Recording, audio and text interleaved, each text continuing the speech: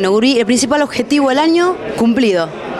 Sí, sí, la verdad que eh, uno viene siendo protagonista con un auto que viene funcionando muy bien y estábamos ahí en Olavarría, eh, llegamos a esa carrera por primera vez adelante en el campeonato y bueno, fue una carrera, eh, creo que va a quedar para la historia esa y vinimos a Rafaela, donde eh, se trabajó mucho, se funcionó muy bien y había que correr la carrera, se venían dando todas las cosas, pero había que redondear todo y bueno, salió realmente bárbaro y pudimos llevarnos este resultado.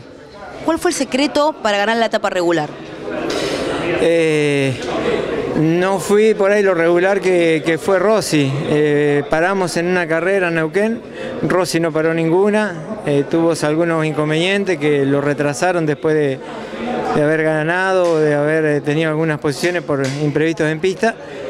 creo que la regularidad y el funcionamiento del auto, sobre todo en la última parte y un buen equipo y todo lo que te predispone para esta etapa, ¿cómo la encarás vos? No a nivel deportivo, sino a nivel personal, tranquilo, ¿cómo la encarás vos? Y cuando por ahí uno está un poco complicado con los resultados, está preocupado por otra cosa, pero tranquilo arriba del auto. Eh, y ahora son cosas importantes, eh, se sienten más allá que de uno tenga mucha experiencia, pero eh, me da la tranquilidad cómo viene funcionando todo el auto, el equipo, así que ojalá podamos seguir por este camino. Por último, ¿te la llevas este año? ¿Es tuya?